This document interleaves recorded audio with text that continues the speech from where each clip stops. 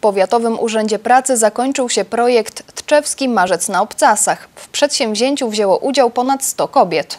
Warsztaty były skierowane do pań, które chciały poczuć inspirację do dalszego działania, odkryć uśpiony dotychczas potencjał i odzyskać wiarę w siebie i swoje możliwości.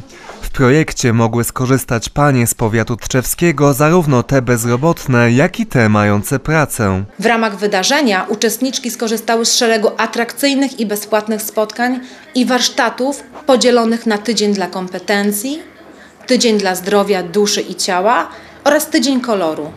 Projekt cieszył się bardzo dużym zainteresowaniem, a udział w nim wzięło łącznie ponad 100 kobiet. Panie podczas poszczególnych tygodni miały możliwość między innymi odkryć predyspozycje zawodowe, przygotować się do aktywnego poszukiwania pracy bądź jej zmiany, poznać narzędzie do porządkowania i planowania życia, mapa marzeń, mapa celów oraz odbyć warsztaty radzenia sobie ze stresem.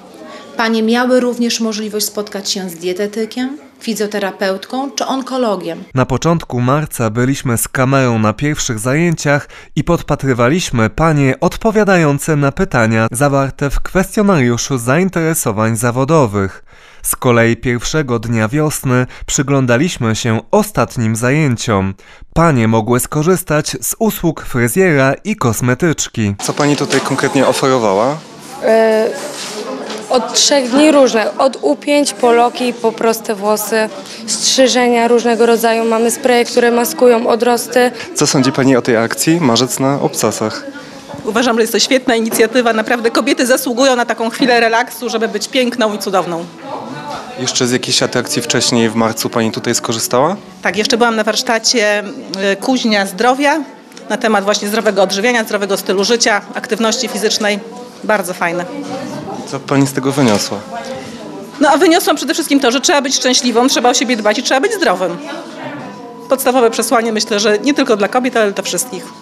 Jeżeli będą kolejne edycje tej akcji, poleci pani koleżankom? Oczywiście, jak najbardziej. Po co siedzieć w domu? Tak lepiej spędzić czas w miłym towarzystwie i właśnie na takiej akcji. Skorzystałam z zajęć e, z- radzenia sobie ze stresem, jak zwalczać stres oraz e, kuźnia zdrowia. Przyszłam tutaj po prostu z- tak, żeby rozwinąć swoje za- zainteresowania, wiedzę. Przedstawiciele Powiatowego Urzędu Pracy są zadowoleni z Tczewskiego Marca na Obcasach.